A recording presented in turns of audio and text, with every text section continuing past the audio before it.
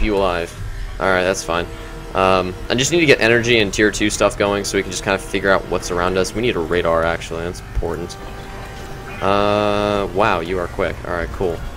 How much does... Experimental cost? Oh, very quick! What the hell is this? What the hell is this? Teehee! Let's just build a fuck ton of them. Alright, um... I'm curious to see what this will do.